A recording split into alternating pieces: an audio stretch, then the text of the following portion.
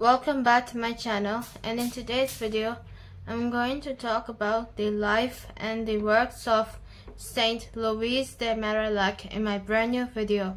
Subscribe to this channel so don't miss off my brand new videos and new content below. And you can check out my last year's video of Saint Vincent de Paul in the description box below and description link below.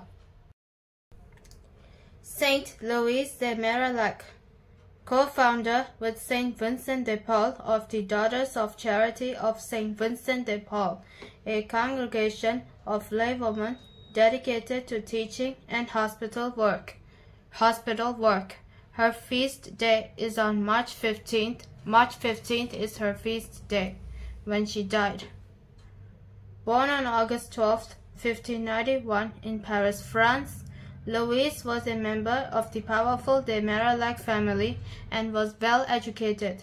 Poor health prevented her from, from joining the strict order from, of Poor Clares, and in 1613 she and in 1613 she married Anthony Legras, secretary to Queen Marie de Medicis of France, by whom she had a son by whom she had a son Michael.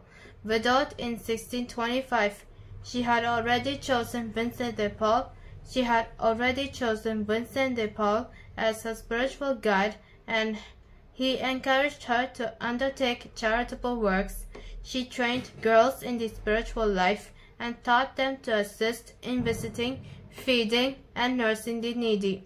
In 1633, Vincent de Paul founded the Daughters of Charity with Louise as their superior because they were neither enclosed or I mean, nor called nuns.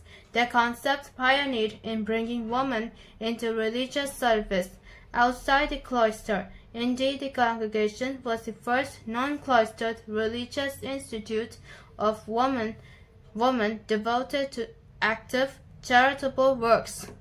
She died on March 15th, 1660 at the age of only 68 years. She was beatified by Pope Benedict XV in 1920. She was canonized on March 11th. She was canonized on March 11th, 1934 by Pope Pius XI. I hope you everyone. I'll be see you in my brand new video. Bye bye, y'all.